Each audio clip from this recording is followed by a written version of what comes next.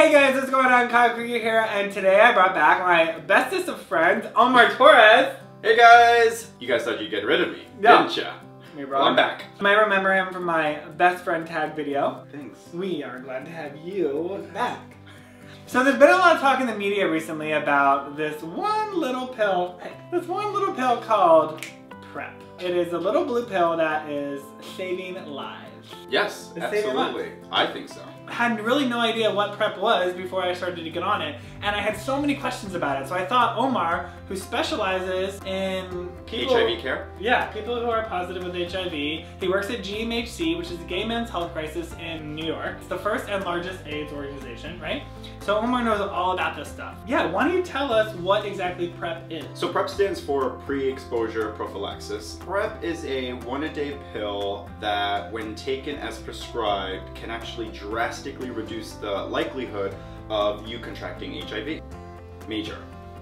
What you're saying is if I start taking PrEP and I'm HIV negative, that I will not become positive if I'm on this pill and I have sex with someone who is positive. So you brought up a couple of good points. So one, in order to use PrEP, you do have to be HIV negative, right? And PrEP is considered a harm reduction method, so it reduces the risk of someone contracting HIV if they're engaging in condomless sex, let's say, or if the condom breaks and the person you're having sex with is HIV positive. So it reduces the risk, it doesn't eliminate the risk. So recently I read a study that a group of gay men went through a trial and while all of these gay men were on the trial of PrEP, none of them became positive.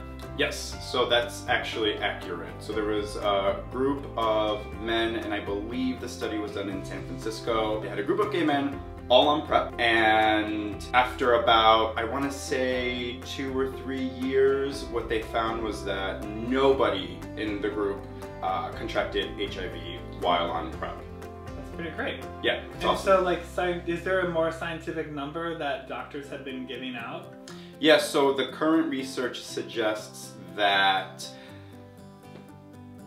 PrEP reduces the likelihood of someone contracting HIV by about 94, 96%. So really, really close to 100. That's amazing. Yeah, it's great. When I was single and having sexy time, I was also worried ju- not just about contracting HIV, but about other STDs as well. Right. Can PrEP protecting from other STIs or anything? So PrEP is only used to prevent someone from contracting HIV. So if you're on PrEP, it is still highly encouraged that you use condoms in order to protect against Ah! other STIs. What's the point? I know, what a waste. no, just kidding, just kidding.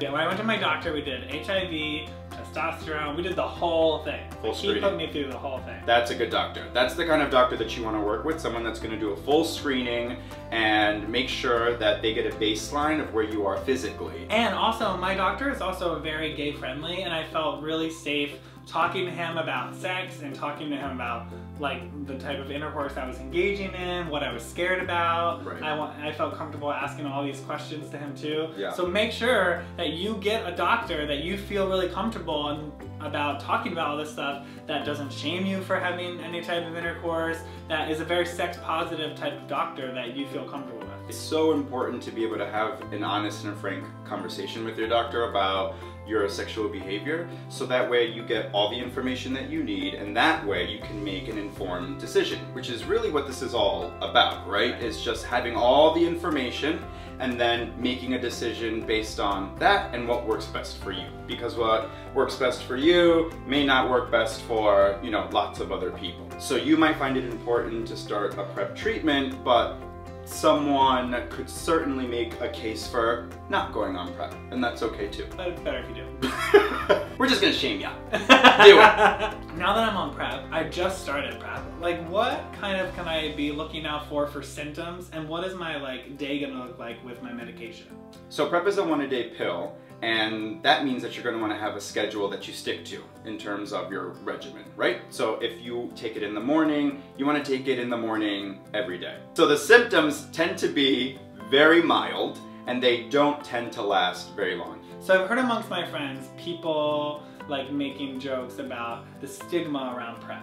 Yeah. about that only people who have sex a lot should be on PrEP. Right. Do you think that that's true? That is absolutely not true. So again, PrEP could be for anybody from someone who's in a monogamous relationship with someone who is HIV positive, someone who is single and does have an active sex life, which is also fine. PrEP is also used for intravenous drug users because that is a cohort or a population of folks that are at risk for contracting HIV. One of the common questions that comes up whenever I'm talking to somebody about starting a PrEP regimen is, uh, is PrEP a cure for HIV?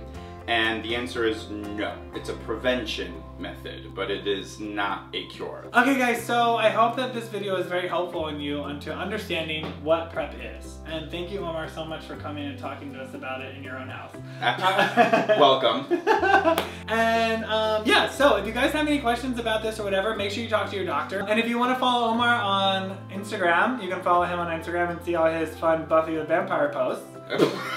and I'm gonna put his um, Instagram handle right here. And then you can also follow me on Instagram and Twitter too at Kyle Krieger Hair for a lot of nude selfies. And that's it.